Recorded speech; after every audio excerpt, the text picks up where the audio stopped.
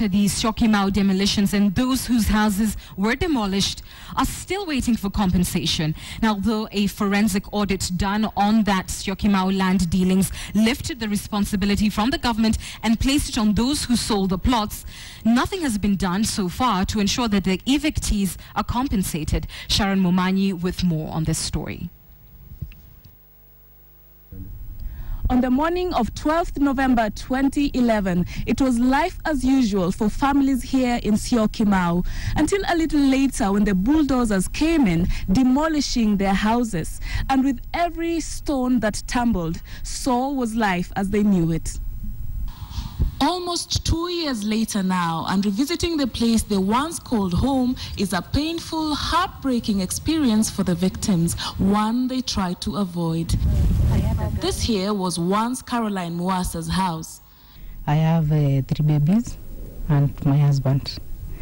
We lived here for one year before the demolitions happened. In the place where her house stood now lies this mound of debris, and there are clusters of this all over this area in what was once an upmarket estate next to the Jomo Kenyatta International Airport. And Andrew Magu's house here. These two are among the more than 5,000 victims of the Siokimao evictions and house demolitions of 2011. Niliona hiyo ninio hiyo hiyo uh, trakta ikikuja ikashika hiyo nyumba kama ninio ikatoa hiyo vitu ikaweka chini. Um, sasa kufikiria the, the first people who nilijaribu ni, ni kuita mayor. Not even the president or the prime minister or a minister has gone to talk to the affected individuals. The Musyimi-led Joint Parliamentary Committee, created soon after the demolitions to look into the issue, recommended that humanitarian assistance and alternative settlements be given to victims of the demolitions.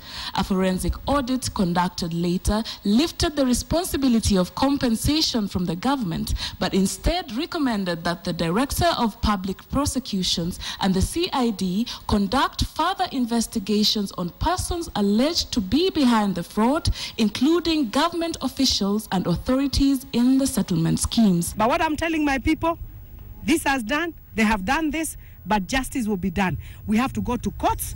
Caroline now lives with her husband and three children in this small rental flat not far from her former house. A makeshift bedroom within the kitchenette for their three children who no longer have the luxury of space. The family now struggling with bank loans and bills and have had to move their children from a luxurious private school to a local day school. It is so hurting when you see something you have, you have worked for, you wanted to be a Kenyan who owned a home, and one minute you are brought down to nothing. And so the questions they ask, how could they have been deemed irresponsible in being part of land deals that saw over 5,000 people confidently purchasing land through the schemes and government providing essential services such as water and electricity without detecting fraud? Who was meant to protect them? Who is going to be held accountable? And when will justice be served? Sharon Momanyi, KTN.